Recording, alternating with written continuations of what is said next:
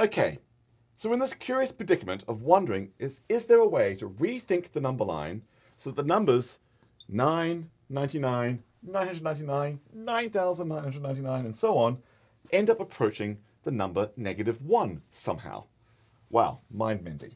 So first of all, let's think about how we normally think about the number line. For example, here's the number line again. Here's 0, here's 5, here's negative 5, and so on, 10, all the rest. Now actually, did, I, where, where did I place these numbers? I placed 5, for example, so there's actually 5 units get me from 0 up to 5. So I drew 5, basically a distance 5 units away from 0. This is a very additive way of thinking, because I'm actually thinking of 5 as 1 unit plus 1 unit plus 1 unit plus 1 unit plus 1 unit. So when we normally think of distance on the number line, we're having an additive mindset. 10 is 10 units away from 0, because I'm thinking of 10 as 1, 1, 1, 1, 1, 1, 1, 1, 1, 1. 10 ones adding up to get me to this position on the number line. Okay, so what I'm going to do now is change my mindset about the notion of distance on the number line. Now, many problems in mathematics, of course, are about addition, but many other problems are actually also about multiplication. In fact, mathematicians have many unsolved problems about multiplication, namely factoring a number. What's an easy, obvious way to factor numbers? How can I tell if a number has no factors? How can I tell if a number's prime or not? These are really deep, hard questions in mathematics about arithmetic, about multiplication in arithmetic. So it could be good to develop a handy way to think of the number line not additively, but multiplicatively. Now, what could that possibly mean? Right, so I'm going to keep my discussions for the moment in the 10 1 machine. I'll keep base 10 for our minds. So in my multiplicative way of thinking, I'm going to say 0 is the most divisible number of all. I can divide it by 10 once and still stay with an integer. It's 0. I can divide it by 10 twice. Divide by 10, divide by 10. I've still got an integer, namely 0. I can divide this by 10 a thousand times and I've still got an integer. It is highly, highly divisible. It's the most divisible number of all. Now, 40 is kind of zero-like in this multiplicative way of thinking because I could divide it by 10 at least one time and actually get an integer still, an integer answer. Actually, 400 is even closer to being zero-like because I can divide it by 10 twice and end up with an integer. In fact, 4,000 is even more zero-like because I can divide it by 10 three times and still stay as an integer. So that's how I'm now going to think of distance. I'm going to say in my mind the number 4,000 is way closer to zero. It's more zero-like than 400 is. And 400 is more zero-like than 40 is. So some numbers are very zero-like, some are less zero-like. Aha! Because that's what I'm going to do now. That's going to be my notion of distance, how zero-like it is. How many times can I divide by 10 and stay in the world of integers? The more times I can do that, the closer it is to being like a zero. Now, look at these numbers. 9, 99, 999, 9,999, and so on. Think of them this way. This is 10, take away 1. This is 100, take away 1. This is 1,000, take away 1. This is 10,000, take away 1, and so on. In my multiplicative thinking, where distance is now done in a multiplicative way, that's kind of zero-like. That's more zero-like. That's much more zero-like that's getting even more zero-like. In fact, if I kept going, on the right-hand side, these numbers are getting more and more zero-like. They're getting closer and closer to zero in this multiplicative mindset. So the right-hand side wants to become 0 minus 1. And the left-hand side wants to become the crazy number, infinitely many nines going off to the left. So it looks like in this multiplicative way of thinking of distance on the number line, this, this number, infinitely nines to the left, wants to be 0 minus 1, negative 1. Just like we proved back in the previous video, if you believe this has a meaningful answer, that is, if you're in a system of arithmetic where this actually has meaning to you, then that answer has to be negative 1. Voila, there it is. Great. So I'm now going to play this game. Numbers that are highly divisible by 10 are more zero-like. They're closer to zero. So my geometry of the number line is now strange. I can't actually visualize anymore because my brain's not trained to think that way. But these numbers really are marching to negative 1 on the number line in this context. So let's start doing arithmetic. So let me clean the board. Let me draw this number in a 10-1 machine. Let's play with it a bit more and actually do some arithmetic with these infinite numbers going off to the left. How wild. All right, so here's the number 99999 going off forever towards the left in the 10, 1 machine. So it's negative 1 in a multiplicative mindset. In fact, we can see that. I can actually add one dot to this and see what happens. Kaboom! Dot, kaboom! Dot, kaboom! Dot, and so on. I can see it's wiping the machine clear, becoming back down to zero. In fact, if I wrote it this way before, I believe this number plus 1 wants to be a whole bunch of zeros. That is, it wants to be 0. Um, and here's why this works in this multiplicative mindset. Because in this machine, dots going off to the left that exist over here are really small numbers. These numbers are getting smaller and smaller. They're closer to being zero-like. You can divide this one by 10 twice. I can divide this one by 10 three times. You can divide this one by 10 seven times, by 10 a thousand times. These numbers are getting smaller as we go off to the left, if I think about distances on the number line this way. Just like before, in ordinary arithmetic, it was numbers going off that way into the decimals, they got smaller as we went along. So all this error that we get by adding one and seeing all this explosion going on here is getting to the small and smaller world in this mindset, in which case this really does want to become zero. That's the key to thinking about how to do this. So this number is negative 1. Then I can say, all right, what would negative 2 be? Well, I could play this sort of game here again. What if I did a whole bunch of 9s going off to the left, then in an 8? If I add 2 to that, I can see I get 0, carry the 1, 0, carry the 1, 0. That must be negative 2. What's the number negative 40 in this, in this way of thinking? Well, negative 40 would be, can you see it? A whole bunch of 9s that end in 6, 0. Because I can see if I add 40 to that, that will get me down to 0. Beautiful. You know what?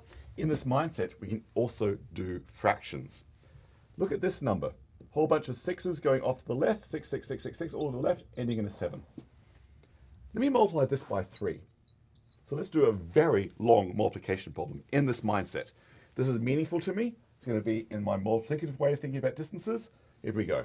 7 times 3 is 21. 1, kaboom, kaboom, 2.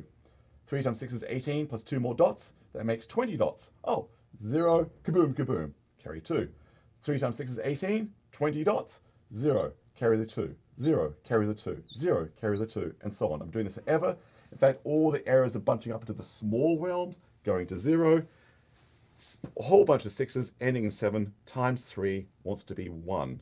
That means this number is behaving like the fraction 1 third. It is something which when multiplied by 3 gives the answer 1. It wants to be 1 third. Wow. Okay, so let's really start playing. I wonder what the number 4 sevenths looks like in this way of thinking. What is it? I need something that when multiplied by 7 gives the answer 4. What something fits the bill?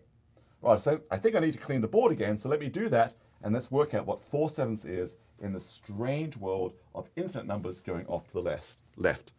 And we can do it. Okay, so I'm in a world where I'm allowing numbers to have infinitely many digits going off to the left. Grand. And I'm looking for now something that deserves to be called 4 sevenths. One of these strange numbers with the property that if I multiply it by 7, I should get the answer 4. 4 on the nose. So I've got here is my 10-1 machine, filled with dots, A dots, B dots, C dots, D dots, blah, blah, blah, off to infinity that way. But I want, I want this to be a machine such that if I multiply all the number of dots in this machine by 7, I will get 4 dots on the nose. There's in 4 dots here, nothing, nothing, nothing, nothing, nothing, zeros thereafter. 4 on the nose would be 4 here, and the rest zeros. All right, so let's do it. I'm just going to follow my nose and try to work out what are the values of the dots counts in these, each of these boxes to make this work. So let's see. How do I do this? First of all, I've got some dots in the machine, and I say multiply them all by 7. So let me actually do that. So let's multiply each number count of dots by 7. So instead of, having, instead of having A dots here, we'll have 7 A dots. Instead the B dots, we'll 7 B dots, 7 C dots, 7 D, 7 E, 7 F, 7 G, 7 H, 7 I, 7 J, 7 K, and so on. All right. So once all these explosions occur, whatever the explosions happen, I'm meant to be left with four dots here, no dots here, no dots here, no dots here, no dots here, so on. All right, now let's think our way through this. 7a. This multiple of 7 is meant to leave 4 dots. Well, it's not going to be 4 dots because no multiple 4 is not a multiple of 7, but 14 is a multiple of 7. If I have a equals 2, then I'll have 14 dots here, which 10 would explode, kaboom, and leave 4 behind. So A must be 2. Bingo. So if A is 2, that makes 14 dots here, Kaboom! Four left behind and an extra dot there. So maybe you can see how I'm going to think my way through this. Because now I've got four dots there, which is what I want. That's good. But I want zero dots there. So some multiple of 7 plus one more dot is meant to leave 0 dots behind. Oh, I'm thinking 49. 7 sevens is 49, plus 1 makes 50 dots here. Then I have a bunch of explosions, 5 explosions leaving none behind. So B must be 7. B is 7, 49 plus 1 is 50. Kaboom, kapow, gazing, kazoop, kajak, leaving 0 behind, and an extra 5 dots there. Now 7C plus 5 is meant to leave behind 0 dots. Uh, what multiple of 7 am I thinking of? Uh, 35. C must be 5. 35 plus 5 is 40 dots. Kaboom, kapow, gazing, whack, leaving 0 behind, and an extra 4 dots there. 7D plus 4. Uh, gosh, uh, 56 plus 4 would leave 0 dots behind. So D must be uh, 7 eighths of 56. Okay, D is 8. 7 times 8 is 56 plus 4 is 60. Kaboom, kapow, gazing, kajoop, kajoop, kadoop. So that leaves 0 behind and an extra 6 dots over yonder. I'll just keep going. In fact, I'll just do this forever, apparently. Uh, 7e plus 6. Um, some multiple of uh, 7 plus 6 is... Oh, e must be 2. E must be 2. So 14 plus 6 is 20. Kaboom, kapow! 0 behind, extra 2 there. I'm going to be here for a while, but I'm going to do it. Some multiple of 7 plus 2. What am I thinking of here? Oh, my golly gee. Um, oh, what multiple 7 am I talking about here? 28. 28 plus 2 adds up to 30. So f must be 4. All right, 4. 28 plus 2 is 30. Kaboom, kakang, zip. Plus, uh, what did I say? Uh, 30, so plus 3. 7g plus 3 is now meant to be a multiple of 10, leaving 0 dots behind. Oh my gosh, what multiples am I thinking of here? Um, uh, oh, g is 1. Because 7 plus 3 is 10. Kaboom! 0 behind, extra dot here. 7h plus 1. Oh. Oh, 7h plus 1. I feel like I've been there before. I feel like I've done 49 plus 1 before. That in fact gives me what, h equals 7? Oh, I think I'm going to be in a little period here. Then I bet if I do the same thing, back to this work, I bet the next one's going to be 5, and I bet the next one's going to be 8, and then 2, then 4, then 1, then 7, then 5, then 8, then 2. All right, I think I'm in a cycle, in which case, this number here, which deserves to be called 4 sevenths, is this thing. We first got a 2, then we got a 7, then we got a 5, then we got an 8, then we got a 2, then we got a 4, then a 1, and then we repeated that. An infinite block of six digits going off to infinity to the left. I think we've just worked out a number that deserves to be called 4 sevenths in the strange infinite arithmetic off to the left. This is brilliant. Now mathematicians actually call this system of arithmetic a name. They call it the 10-adic system. 10 means 10, because I'm doing it in base 10 right now, and adic is a prefix that means the count of operations. So we're counting various operations here. This is 10-adic arithmetic. And we can do negative numbers, like negative 2 is a whole bunch of 9s, ends in an 8. We can start even do fractions in this 10-adic system. And in this world, this actually does make sense. It's the multiplicative way of thinking about mathematics. Because on this end of the scale, all these powers of 10 are getting closer and closer to being zero. So actually going off that direction is fine. They do indeed converge to meaningful numbers. Wow, welcome to an unusual system of arithmetic.